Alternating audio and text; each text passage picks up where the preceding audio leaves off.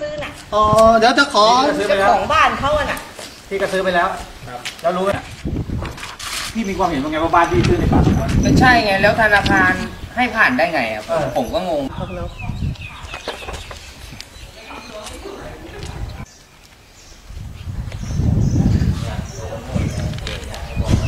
นี่ป่ะคือเราคือซื้อต่อตามคำแนะนำมาใช่แล้วก็เอาเอาที่ดินเนี่ยไปเข้าแบงค์ใช่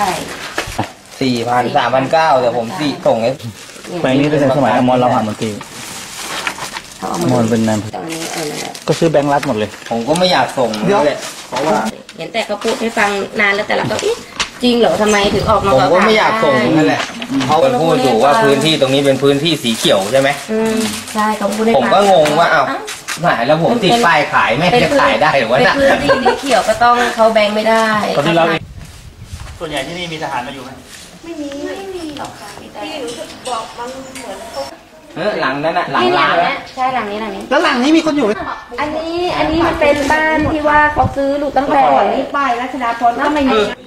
เพราะเมื่อก่อนมันเมื่อก่อนตอนเปิดแรกๆปูมากเลยนะ แล้วก็มาหายนะ ไม่ไม่เคยที่เคยคุย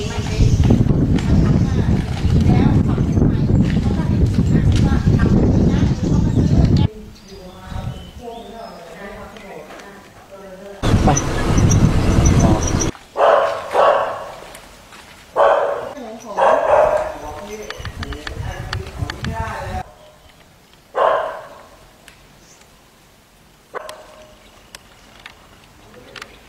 เป็นถนนด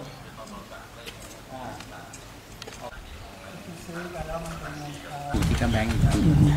แต่ก็ต้องตรวจสอบมันอีกเนาะ ใช่ครับเพราะว่า มัน ข้างๆเป็นแบบเนี้ยเขามาถ่ายรูปอะก่อนจะกู้อะค่ะ อืมอะแล้วเขาจะยอมกู้ทำไม